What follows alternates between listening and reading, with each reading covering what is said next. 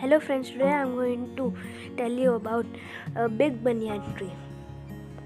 Big banyan tree located in village of Kethohalli in Bangalore.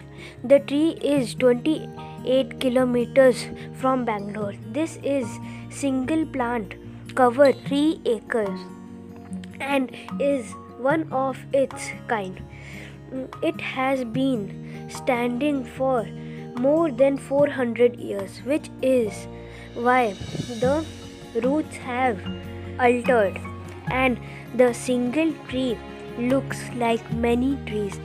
It is the uh, fourth largest banyan tree in country.